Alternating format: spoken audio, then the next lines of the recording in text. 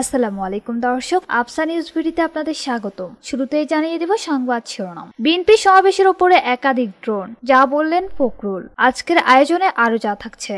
ভারতে বিএনপির প্রধান মাথা ব্যথা, সবশেষ থাকছে। দেশবিরোধী মিথ্যা অপপ্রচার চিহ্নিত করল রয়টার্স। পুরো প্রতিবেদনটি জানতে ভিডিওটি শেষ পর্যন্ত দেখুন। আমাদের চ্যানেলে সকল আপডেট সবার আগে পেতে চ্যানেলটি সাবস্ক্রাইব করে রাখুন। এবার বিস্তারিত। রাজধানীর নয়াপল্টনে দলের কেন্দ্রীয় কার্যালয়ের সামনে সড়কে সমাবেশ করেছে বিএনপি। এই সমাবেশের উপরে একাধিক ড্রোন উঠতে দেখা গেছে। এতে অনেকের মাঝে সন্দেহ আর আতঙ্ক ভর করে। ড্রোন উঠতে দেখে অনেকেই সমাবেশের স্থল ছেড়ে যান। প্রত্যক্ষদর্শীরা জানান, সমাবেশের ঠিক উপরে পল্টন পলওয়েল ও চায়না টাউন মার্কেট বরাবর কয়েকটি ড্রোন উঠতে দেখা যায়। এগুলো নির্দিষ্ট স্থানে স্থির হয়ে আছে। তবে এসব ড্রোনে ক্যামেরা ছিল কিনা তা নিশ্চিত করতে পারেনি তারা। ঢাকা মহানগর, উত্তর ও দক্ষিণ বিএনপি যৌথ উদ্যোগে জ্বালানি তেলের মূল্য বৃদ্ধি, বিদ্যুতের লোডশেডিং, গণপরিবহনের ভাড়া বৃদ্ধি, নিত্য প্রয়োজনীয় দ্রব্যের মূল্য বৃদ্ধি এবং ভোলায় পুলিশের গুলিতে নূরে আলম ও আব্দুর রহিমের হত্যার প্রতিবাদে এই সমাবেশ হয়। একাদশ সংসদ নির্বাচনের পর ঢাকা মহানগরে এই প্রথম বড় সমাবেশ করেছে বিএনপি। এতে ঢাকা মহানগর, উত্তর ও দক্ষিণ, ঢাকা জেলা, গাজীপুর মহানগর ও জেলা, নারায়ণগঞ্জ জেলা ও মহানগর সহ আরও কয়েকটি জেলা থেকে নেতাকর্মীরা যোগ দেন।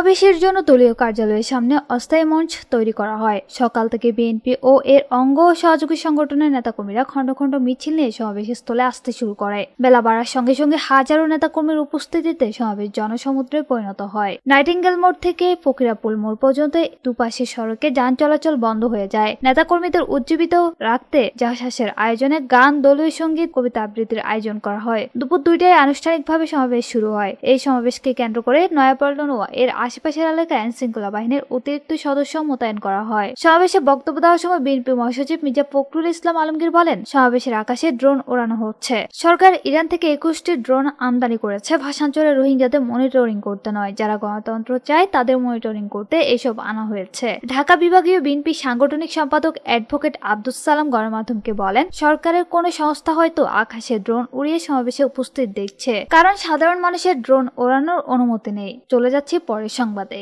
বিএনপি সরকার বিরোধী আন্দোলনের চেষ্টা করছে, প্রতিদিনই নানা রকম সভা সমাবেশের মতো কর্মসূচি গ্রহণ করছে। এই সমস্ত কর্মসূচিতে বিএনপি সরকারের পতন সময়ের ব্যাপার মাত্র। সরকারের দিন ঘনিয়ে আসছে, ইত্যাদি নানা কথা বলছে। কিন্তু মুখের কথা যাই বলুক না কেন, বিএনপি নেতারা স্বস্তিতে নাই। বিএনপি নেতাকর্মীরা উদ্দীপ্ত হতে পারছেন না। বিএনপির সাম্প্রতিক পরিস্থিতিতে যে কঠোর কর্মসূচি নেওয়ার প্রত্যাশা করেছিল নেতাকর্মীরা, সেই কর্মসূচি দলের শীর্ষ নেতারা দিতে পারছেন না। বরং বিএনপি মহাসচিব মির্জা ফখরুল ইসলাম আলমগীর সাফ জানিয়ে দিয়েছেন, আগে রাজপথ দখল করতে হবে, তারপর হরতাল, অবরোধের মতো কর্মসূচি দেওয়া হবে। এই সমস্ত সভা সমাবেশের মতো কর্মসূচিতে কিছুদিন পর বিএনপি নেতাকর্মীরা হাঁপিয়ে উঠবেন বলে তারা মনে করছেন। ফলে আবার বিএনপি একটা অনিশ্চয়তা এবং হতাশার মধ্যে নিপতিত হবে বলেই দলের অধিকাংশ কর্মীদের ধারণা। বিএনপি কেন বড় ধরনের কর্মসূচি নিতে পারছেন না? সাংগঠনিক অদক্ষতা বা দলের কর্মী সমর্থকের স্বল্পতা নাকি অন্য কারণ? বিএনপির একাধিক নেতা বলছেন যে, এখনও বিএনপি সমর্থকদের সংখ্যা কম নেই। বিএনপির পক্ষ থেকে যে বিভিন্ন সমাবেশগুলো ডাকা হয়, তা কর্মীদের উপস্থিতি দেখে বোঝা যায় যে বিএনপি এখনও দেশের অন্যতম জনপ্রিয় দল। কিন্তু বিএনপির সমস্যা অন্যরকম।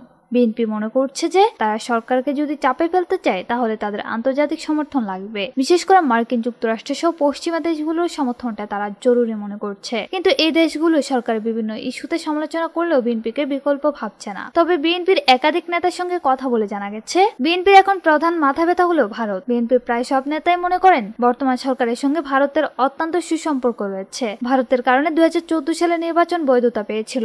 ভারতের কারণে দুই সালে নির্বাচন নিয়ে আন্তর্জাতিক আন্তর্জাতিক পরিমণ্ডলে তেমন কথাবার্তা হয়নি। ভারত বর্তমান সরকারকে প্রায় নিরঙ্কুশ সমর্থন দিয়ে যাচ্ছে। আগামী পাঁচই সেপ্টেম্বর বাংলাদেশের প্রধানমন্ত্রী ভারত সফরের কথা হয়েছে। সেখানে নরেন্দ্র মোদীর সঙ্গে তার বৈঠক হবে। ভারতের রাজনীতিতে আওয়ামী লীগের চেয়ে শেখ হাসিনা অনেক বেশি আলোচিত এবং প্রশংসিত একটি নাম। ভারতের বিভিন্ন পর্যায়ের রাজনৈতিক নেতারা এবং প্রায় সব দলই মনে করে যে ভারত শান্তিতে আছে শেখ হাসিনার জন্য। বিশেষ করে সেভেন সিস্টারের আগে যে সন্ত্রাসবাদ, বিচ্ছিন্নতাবাদীদের দৌরাত্ম ছিল, সেটি বন্ধ করার ক্ষেত্রে মুখ্য ভূমিকা পালন করছে শেখ হাসিনা। শেখ হাসিনা হাসিনা দুই হাজার নয় সালে ক্ষমতায় আসার পর থেকে বাংলাদেশের সকল ধরনের বিচ্ছিন্নতাবাদী তৎপরতা বন্ধ করেছেন এবং তাদেরকে কোনো ধরনের আশ্রয় প্রশ্রয় দেননি। ভারতের একাধিক রাজনীতিবিদ মনে করেন যে পঁচাত্তর পর থেকে সব সরকারের আমলেই বাংলাদেশ ভারতের বিচ্ছিন্নতাবাদীদের ঠাই হয়েছে। সেখানে তারা প্রশিক্ষণ নিয়েছে এবং বাংলাদেশ থেকে তারা ভারতে গিয়ে অনার সৃষ্টি করেছে। সে অবস্থান থেকে শেখ হাসিনা ভারতকে মুক্তি দিয়েছেন। তাছাড়া শেখ হাসিনার শাসন আমলে বাংলাদেশ ভারত সুসম্পর্ক গড়ে উঠে মাত্রা পেয়েছে। ভারতের সঙ্গে যোগাযোগগুলো পুনরায় চালু হয়েছে।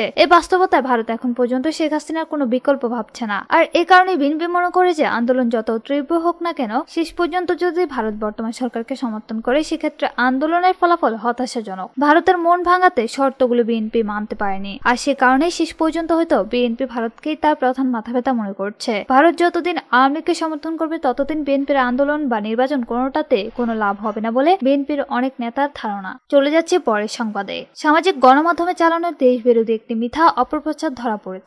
বিশ্বখ্যাত সংবাদ সংস্থা রয়টার্সের ফ্যাক্ট চেক বা সত্যতা নিরূপণ প্রক্রিয়ায়। রয়টার্স প্রতিবেদনে বলা হয়, গত সাতই আগস্ট ওয়াল স্ট্রিট সিলভার নামের টুইটার অ্যাকাউন্ট থেকে পোস্ট দেওয়া হয় যে বাংলাদেশে জ্বালানি তেলের মূল্য বৃদ্ধির প্রতিবাদে বিভিন্ন শহরে তীব্র গোলযোগ হচ্ছে। এর সাথে আপলোড করা হয়, রাস্তায় টায়ার পোড়ানো মুর্মুহ সাউন্ড গ্রেনেড শব্দের একটি অডিও ভিডিও ক্লিপ। হাজার ছাড়িয়ে যাওয়া বিয়ের পোস্টে সত্যতা যাচাই করতে গিয়ে বিশ্বখ্যাত সংবাদ সংস্থা রয়টার্স থেকে ভিডিও ক্লিপটি নয় বছর আগে দু হাজার তেরো সালের ছয় মে ঢাকা হেফাজত ইসলামের আন্দোলনের সময়ে বৃহস্পতিবার এগারোই আগস্ট রয়টার্স প্রকাশিত ফেক্ট যে বাংলাদেশের জ্বালানি তেলের মূল্য বৃদ্ধির প্রতিবাদে ভিডিওটি দুই সালের নয় দু সালের। শিরোনামের সংবাদে বলা হয়, ইউক্রেন যুদ্ধের কারণে বিশ্বব্যাপী জ্বালানি সংকটের মধ্যে বিশ্বের দ্রুততম বৌদিষ্ণ অর্থনীতির দেশ বাংলাদেশের সম্প্রতি জ্বালানি তেল লিটার প্রতি পেট্রোলের দাম একান্ন শতাংশ বাড়িয়ে একশো টাকা, পঁচানব্বই অক্টেনের দাম একান্ন শতাংশ বাড়িয়ে একশো পঁয়ত্রিশ টাকা, ডিজেল ও কেরোসিনের দাম বিয়াল্লিশ শতাংশ বাড়িয়ে একশো চোদ্দ টাকা করা হয়েছে। রয়টার্স থমসনের এই প্রতিবেদনে আরও বলা হয়, জ্বালানি তেলের মূল্য বৃদ্ধিতে বাংলাদেশে যে প্রতিবাদ হয়েছে তা স্থানীয় গণমাধ্যমে উঠে এসেছে। কিন্তু বর্ণিত টুইটার ও চিহ্নিত আরেকটি ফেসবুক অ্যাকাউন্টে যে ভিডিও সংযোজন করা হয়েছে তা এই বিষয়ে তো নয়। এবছরও নয়, দুই সালে দর্শক, এতক্ষণ সাথে থাকার জন্য ধন্যবাদ। আমাদের পরবর্তী সংবাদ দেখার আমন্ত্রণ রইল। আল্লাহ হাফেজ।